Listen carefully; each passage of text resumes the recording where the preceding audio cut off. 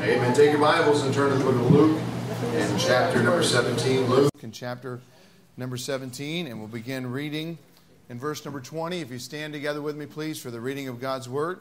Honor the Word of God this morning. Luke chapter number 17, beginning in verse number 20.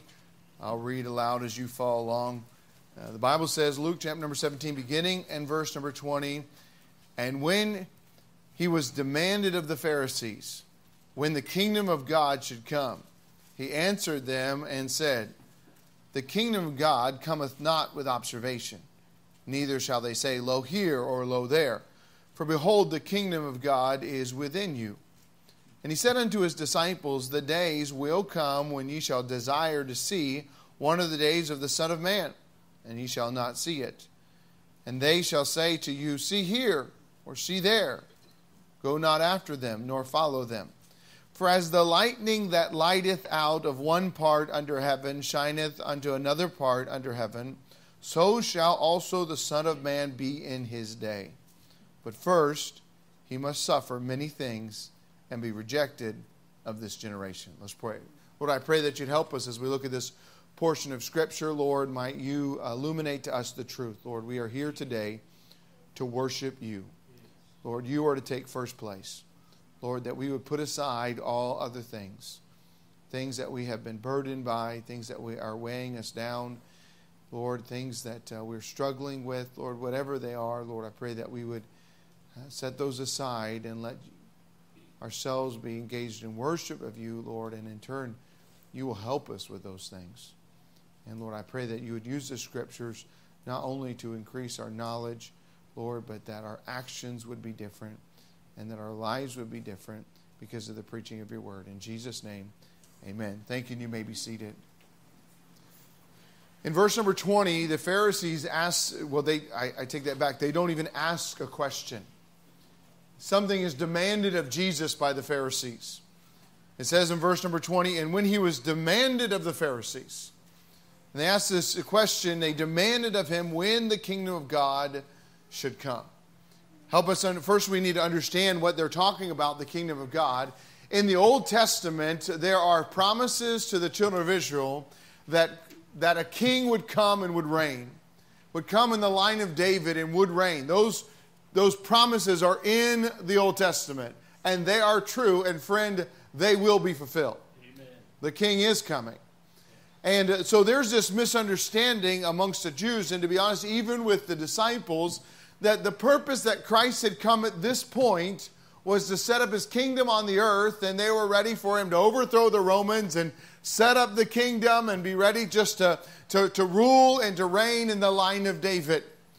But the problem was that something had to take place first. And even the disciples, as we have gone through the book of Luke, have seen the disciples over and over and over again have this idea that here we go, the kingdom is here. Even as you go into the crucifixion, if you remember there in the book of Matthew in chapter number 27, when, when, they, when they come to take Jesus away, and Peter will take a sword and begin to fight to try to bring in the kingdom. And Jesus tells, uh, tells Peter that all scripture must be fulfilled first. It's after this disillusionment that Peter will then deny the Lord. The disciples even had this idea that Christ had come to set up the earthly kingdom now. And take your Bibles and turn over the book of Acts. And uh, he has instructed them that first his death must occur. Here in the book of Acts, in chapter number one, we're going to see that the death, burial, and resurrection of Jesus Christ has taken place. Excuse me, has taken place. And what is the very first question that the disciples ask Jesus? He has, he has been uh, risen, he has, he has met with them, and now he's about to ascend. And this important question that they're going to ask him in verse number six. He has instructed them that the Holy Ghost is coming, and uh, he's going to tell them in verse number eight that they'll be witnesses. Verse number six, and when they were therefore were come together, they asked him, saying, Will thou at this time restore again the kingdom to Israel?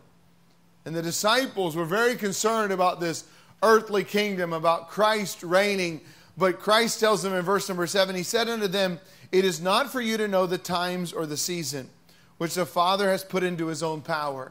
He says, not for you to know when that kingdom is going to be set up. There's something that there's, that's going to happen first, and first you're going to be witnesses to me. Verse number eight.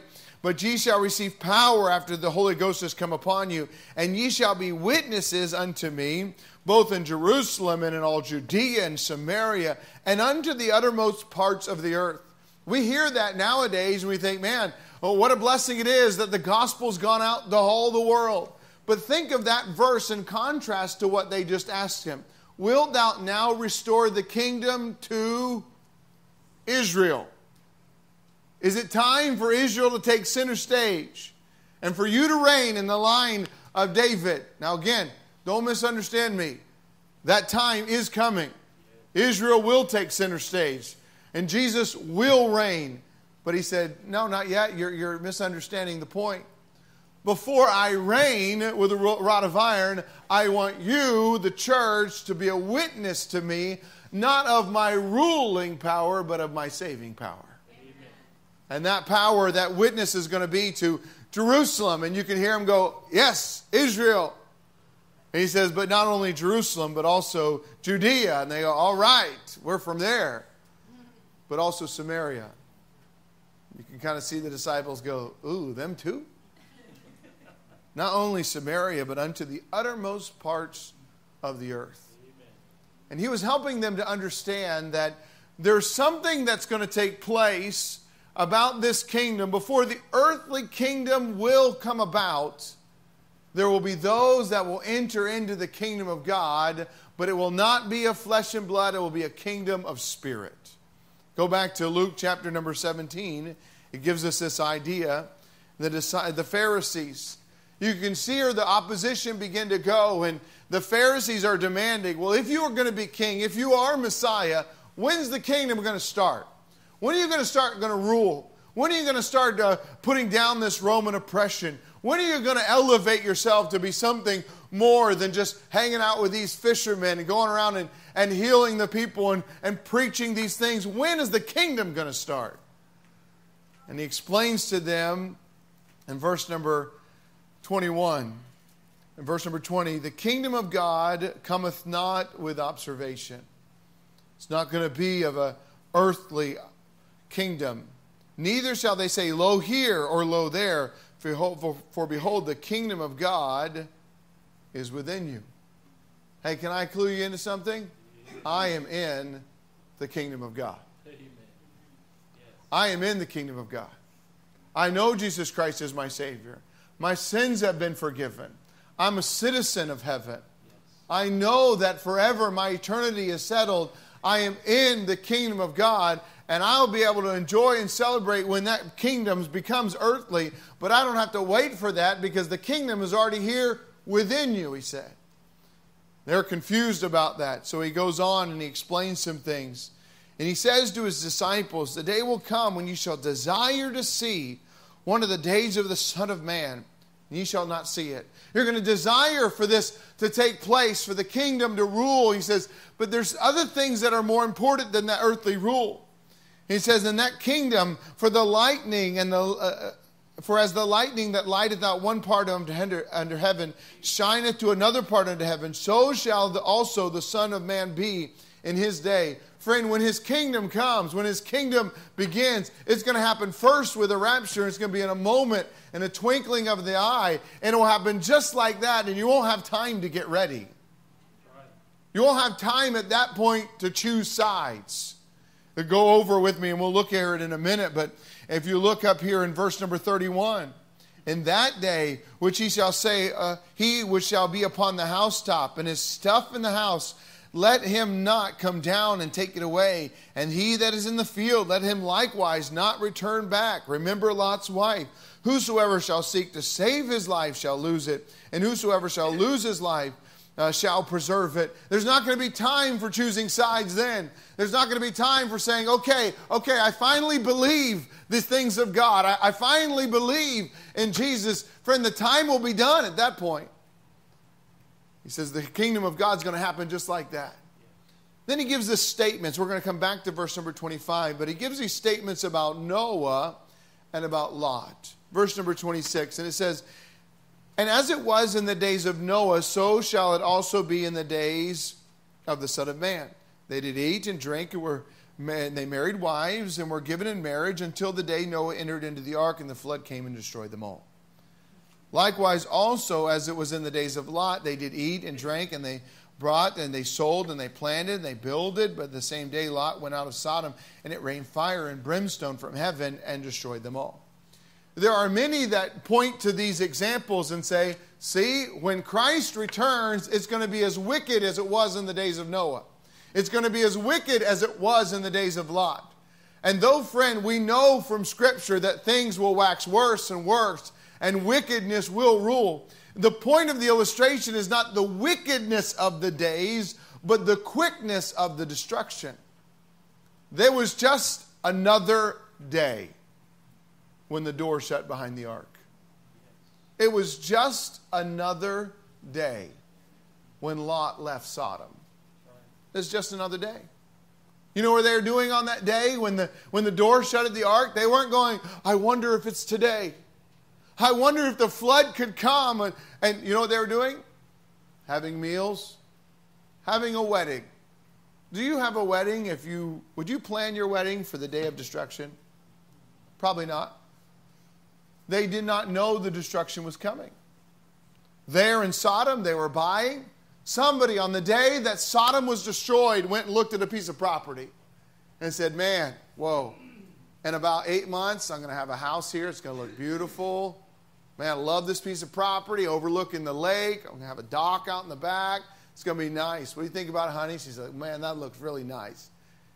It's not about, the, though those places were wicked, and though the world will be wicked at the return of Christ, it's about the immediacy of the destruction. It's about the immediacy of the return. They just thought it was another day. Then it happened. He says that's what the kingdom of God, when it comes, it's going to come like that. It's going to begin like that. He said, but something first must happen. Verse number 25. But first, he, the Son of Man, in verse number 24, he must suffer many things and be rejected of this generation. This is a parallel passage there to Mark. Take your Bibles and turn back over to the book of Mark in chapter number 8 and verse number 31, and we'll see a little bit more information even that he gives here, and that Mark uh, is recorded to give here. Mark chapter number 8 and verse number 31. Now remember who's in this who's in this crowd. The Pharisees are saying, "When's the kingdom coming? When are you going to begin to rule?" Mark 8:31, and he began to teach them that the Son of Man must suffer many things and be rejected of the elders and of the chief priest and scribes and be killed and after 3 days rise again. Now, can you understand what's taking place in this whole process? The Pharisees, and to some extent the disciples, as we have looked in this Gospel of Luke, are wanting victory. They're wanting victory, and that victory is going to be ascribed as an earthly kingdom where they are uh, winning over the Romans, where they're setting up this kingdom. Remember the debate and when uh, James and John's mother says, when, when, when we come into thy kingdom, my one son sit on thy right hand and thy one son sit on thy left hand. Back there in Luke chapter number 8, when they're walking around, what are they discussing? Who's going to be greatest in the kingdom? They're all concerned about this earthly kingdom about being, about being able to conquer, but they're missing something. There, it is impossible for anyone to be successful in an earthly sense or a physical sense without first having the kingdom of your heart to be conquered and your sins be forgiven and that, that anger of God being satisfied so that your sins can be removed. Even up to this point, you know what was happening in Jerusalem? They were making sacrifices of the animals so that their sin could be rolled over. Their sin was not forgiven by that sacrifice, it was simply rolled over. It was simply rolled over. Boy, in the days of these uh, financial issues, you know, a lot of times uh, people do all sorts of things with their mortgages. Can you imagine somebody saying, Man, I'm having a difficult time with my mortgage, and the bank calls and they said, we have a solution for you. What's the solution? You don't have to pay for a year. Wouldn't that be nice? You don't have to pay for a year. Well, then what happens? Well, next year, we're just going to add all that interest to the mortgage. But it's okay, you don't have to pay for a year. And you hang up the phone and you go out and tell your friends, man, this is awesome. I have been freed from my mortgage. Have you been freed from your mortgage? No, you just have had it pushed back for a year. Boy, in the next year, January 1, they call you up and say, We got a great deal for you. We're going to roll your mortgage back again another year. You don't have to pay for your mortgage this year. You're like, man, this is awesome. But do you understand that as they roll it over year after year after year and push back the requirement, eventually payday comes. Eventually, it is required of you that you pay that mortgage. Man, imagine the mountain of that mortgage as they keep rolling it back and rolling it back. And that's exactly what was happening in the Old Testament. They would have these sacrifices not because it washed away their sins, but it would appease God according to the law and roll their sin back for another year and roll their sin back for another year. But eventually, somebody is going to have to pay. You roll your mortgage back, and it's been 10 years you haven't paid on your mortgage. What started out as a $100,000 mortgage is now hmm, a lot more as the interest keeps piling on. And finally, the bank says, January 1, hey, you called me up to let me know you could roll my mortgage back again? No, no, today we want you to pay. How much do I got to pay? We want you to pay it in full. We want you to pay the whole thing off. Um, I'm not going to be able to do that right now. Maybe you can call me back in a couple weeks. Something will have changed. Are you going to be able to pay that mortgage? No. Impossible. There's nothing that would be, enable you to do that as you've rolled that back. Imagine the years that have taken place under the law, and the sin has been rolled back but they may not enter into the kingdom. They may not go into heaven without having their sins forgiven. The Bible tells us in Mark and also in Luke, you know what needs to happen first before the kingdom the kingdom can be enhanced, before the kingdom can be brought in, somebody has to pay. Somebody has to pay. It says this in verse number 25. But first, he must suffer many things he must suffer many things and be rejected of this generation. You know, sometimes people are confused to simply think that Jesus was just a man that lived in history and died. A religious man, a teacher. He died. And we follow his teachings because it's a good moral code. Can I tell you something? Jesus was more than just a man. Yes, he, was. he was the God man. He was the Alpha and the Omega. He was God, very God. He was in the beginning with God. And not only was he with God, he was God. And he was sinless and he lived a perfect, sinless life.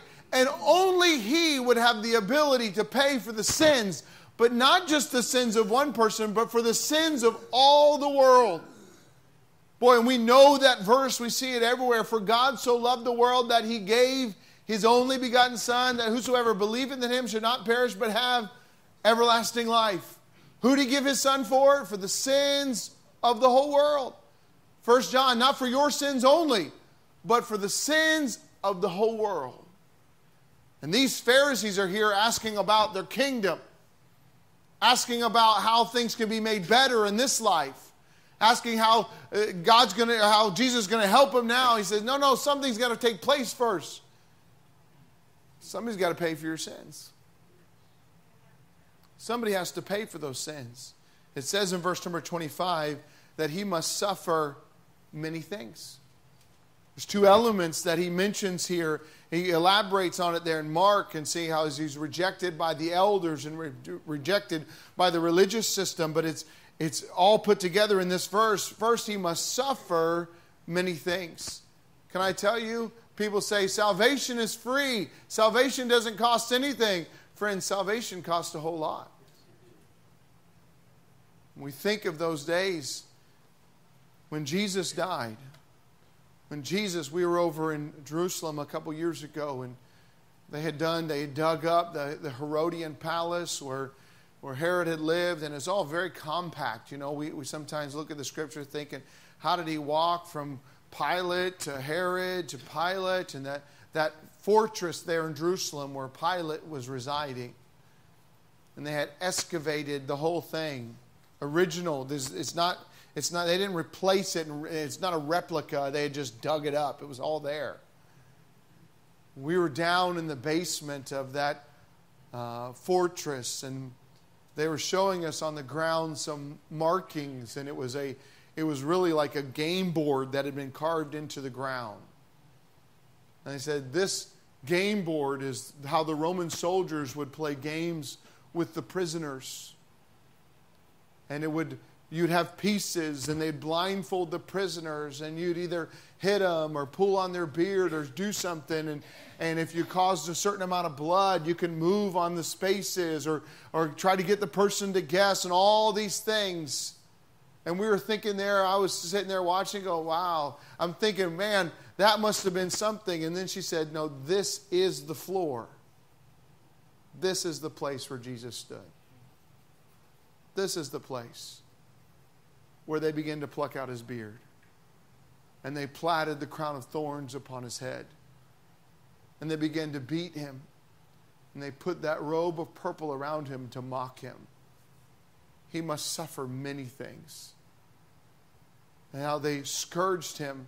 The Bible says in the book of Isaiah that his visage, his image was marred so much that he didn't even look like a man. Is this beast or man? He had been beaten so badly his skin had been opened so much. I remember as a young person, a man preaching, and he had brought with him a cat of nine tails.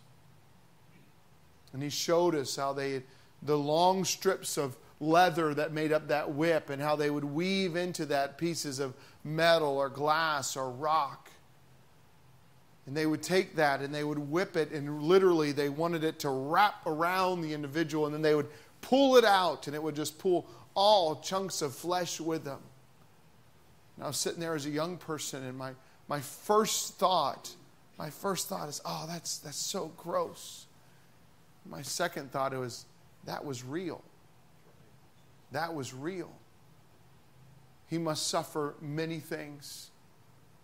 He's brought there before Pilate, and Pilate has said, I found no fault in him. And eventually he has chosen, there's the choice to be made between Jesus and Barabbas. And he's standing there in this purple robe with the thorns upon his head. The blood that is already beginning to pour from the open wounds, and the chance is given. Who do you choose? Jesus or Barabbas? What do they cry? Barabbas. Not only did he suffer those things, he was also rejected. Rejected of men. And then, of course, they put the cross upon him. They made him walk up Golgotha. There they laid him down on that cross. Can you imagine? I can't even imagine. I know these Roman soldiers, crucifixion was something that had taken place very often. They had done this before. And I imagine every other time when they had gone to, to nail the hands down of that individual, they had to pry his arms down. But the Bible says Christ laid down his life, no man took it. And he laid upon that cross and he spread his arms out.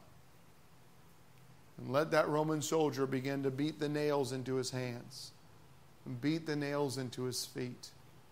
Eventually, they lifted him up and dropped him into that hole, and there he stood suspended between heaven and earth.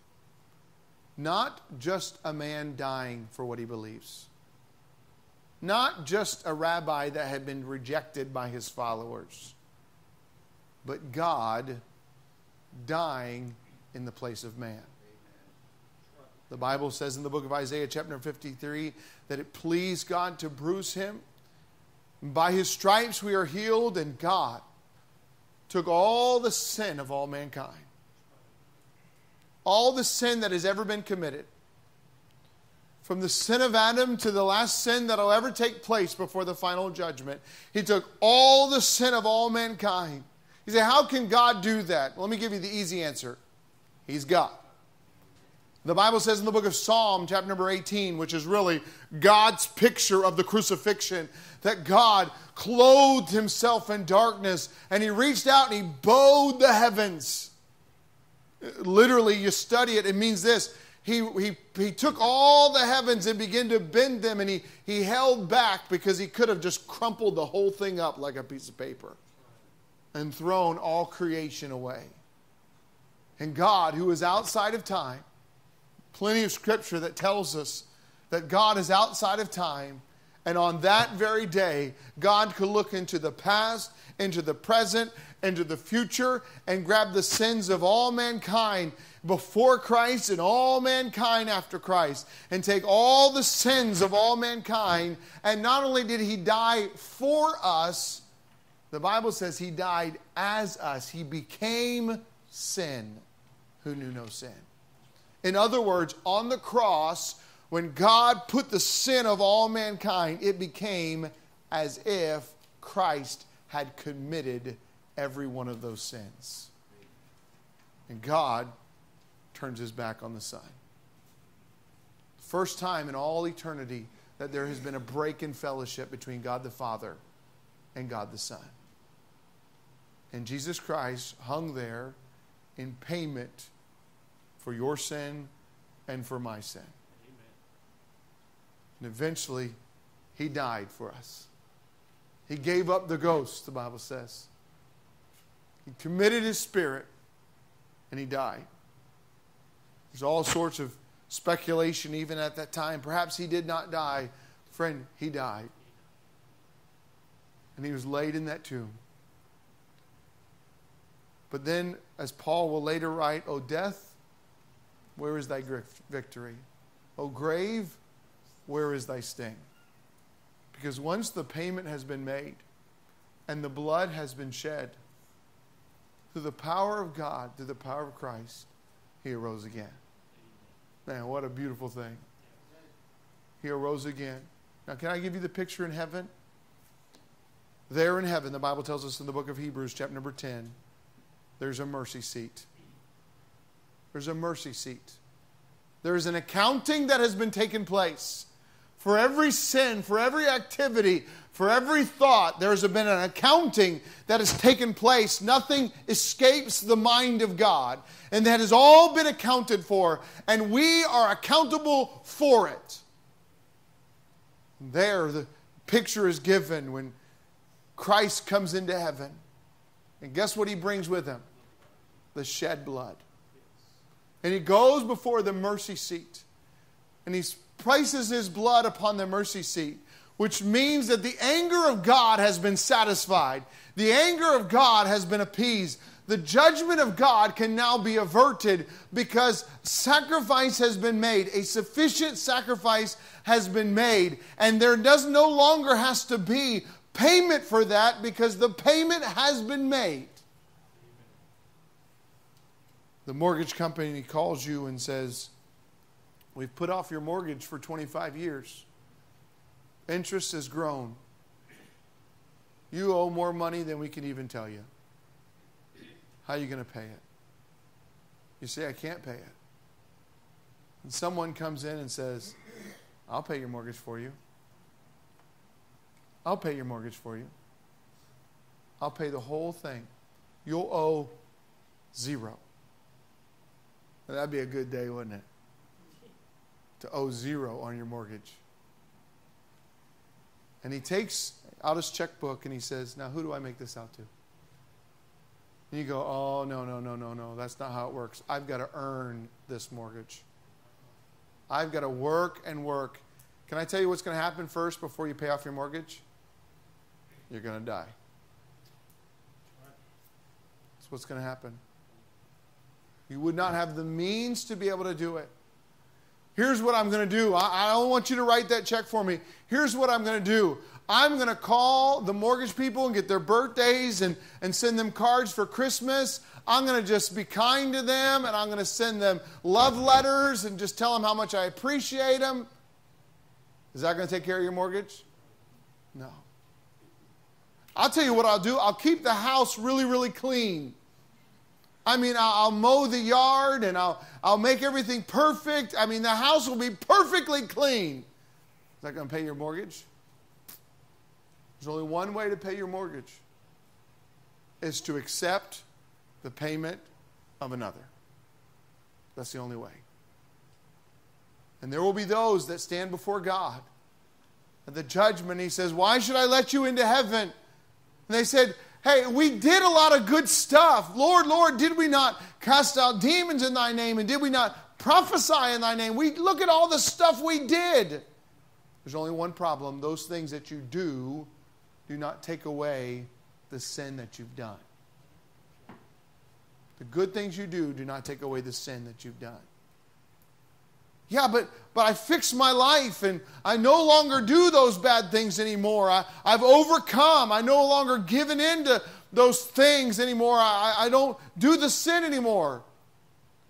Stopping the sin does not take away the sin that you've done. There's only one way to have your sins removed, forgiven, justified. There's only one way by accepting the payment of another. The problem is that we begin to think, I'll do that tomorrow. I'll do that tomorrow. You know, if you were to look at this, Luke chapter number 18 really is talking about the end times, but is not nearly as detailed as Matthew chapter number 24. And I think the purpose for that is this was not Luke's recording of it was not a dissertation on this is how these things are going to happen. It's an emotional recording that tells us that this is going to take place. The kingdom of God is going to come like lightning. It's going to come very fast. And can I tell you, you must receive the Son of Jesus Christ who died in your place first. We say tomorrow. There's going to come a time when one will stay and one will be taken. Continues to tell us that, verse number 31 to verse number 37, that one will be taken and one will stay. Verse 35 Two women shall be grinding together, and one shall be taken and the other left. Two men shall be in the field, and one shall be taken and the other left. They answered and said unto him, Where, Lord? Where, Lord? And he said unto them, Wheresoever the, the body is. Whither will the eagles be gathered together? It'll happen just like that. At that point, there will be no time to reconsider. No time to step back and say, hey, maybe I should look at this differently. They want to know where the kingdom is. He says, man, first I must be crucified. Well, guess where we are? He has been crucified. This is, this is so profound. You think we're closer to the return of Christ today than we were that day? His return could be at any time. You say, but his death was 2,000 years ago. What does it do for me? His death provides salvation for any that would put their faith and trust that he shed his blood for them and can forgive their sins for all eternity.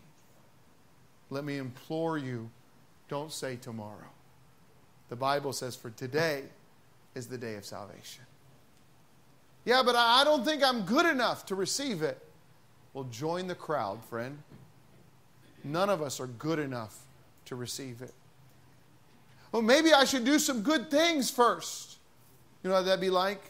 That man's that's going to pay your mortgage, and you go, oh, hold on a second. I don't want you to pay all of it. I'd like to pay some. He says, How much you got? I got four bucks. I got four bucks right here in my pocket. The Bible says that our righteousnesses are as filthy rags, are of no value. It must be the righteousness of Christ in us. These men this day, the Pharisees on that day, walked away disappointed. Well, didn't even answer our question. When's the kingdom of God coming? And they missed the point. He is the kingdom of God. And He provides an opportunity for the forgiveness of sins to all mankind. And here we are over 2,000 years later, and there will be many that will walk away going, ah, maybe tomorrow. Today is the day of salvation. Put your faith and trust in Christ. Accept what his son did upon the cross as your payment for your sin. And believe in him. The Bible says he will make you a new creature. Old things are passed away. Behold, all things are become new. Let's pray.